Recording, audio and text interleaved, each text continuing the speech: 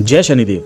नमस्कार मित्रों, आज का पंचांग दिनांक 17 मई 2023 दिन बुधवार, ज्येष्ठ माह के कृष्ण पक्ष की आज त्रयोदशी तिथि है, जो कि रात्रि दस बजकर तीस मिनट तक रहेगी। इसके बाद चतुर्दशी तिथि लग जाएगी। नक्षत्र है रेवती, जो कि प्रातः सात बजकर उनतालीस मिनट तक रहेंगे। इसके आगे अश्विनी नक्षत्र लग जाएँगे। चंद्रमा आज मीन राशि में रहेंगे। प्रातः सात बजकर उनतालीस मिनट तक। आज का कोई भी शुभ समय नहीं है। ध्यान देने वाला समय है। सुबह ग्यारह बज के पचास मिनट से दोपहर बारह बजकर चौवालीस मिनट तक। इस समय आप कोई भी शुभ कार्य ना करें। दिशा शूल रहेगी आज की उत्तर। उत्तर दिशा में जाने से बचें। आज की राशि वृषभ, मिथुन, कन्या, तुला, मकर एवं मीन।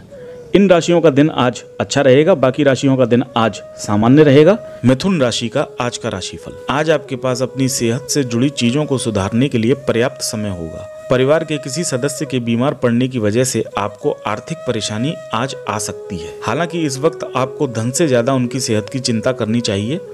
यह वक्त इस बात को समझने का है कि गुस्सा छोटा पागलपन है और यह आपको काफ़ी नुकसान की तरफ़ ढकेल सकता है। आपके प्रेम की राह एक खूबसूरत मोड़ ले सकती है। आज आपको पता चलेगा कि फिजाओं में जब प्यार घुलता है तो कैसा महसूस होता है? नई योजनाएँ आकर्षक होंगी और अच्छी आमदनी का ज़रिया साबित होंगी। इस राशि के जातक आज लोगों से मिलने से ज़्यादा अकेले में वक्त बिताना पसंद करेंगे। आज आपका खाली समय घर की साफ़ सफ़ाई में भी बीत सकता है। वैवाहिक जीवन में गर्म जोशी और गर्म खाने की बहुत अहमियत है। आज आप दोनों का ही आनंद उठा सकते हैं। आपका शुभ अंक है आज सात।